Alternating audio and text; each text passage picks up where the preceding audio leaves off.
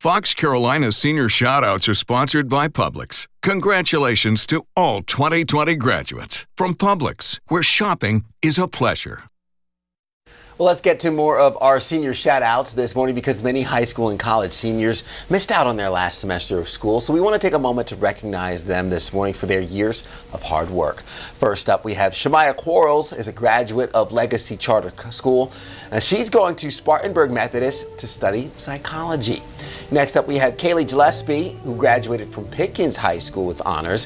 This fall, she plans to go to Francis Marion University on a volleyball scholarship and study business administration with a concentration in sports management. And next up, we have Brandon Young. Brandon graduated from Wade Hampton High School. He participated in the National Art Honor Society and Beta Club. He will be attending Greenville Technical College to pursue graphics and designs. Best of luck to you, Brandon. If you would like to give your high school or college senior a shout out, just head over to foxcarolina.com.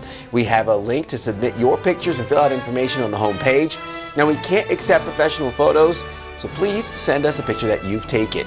Again, you can find that link in the home page or inside the Fox Carolina News app.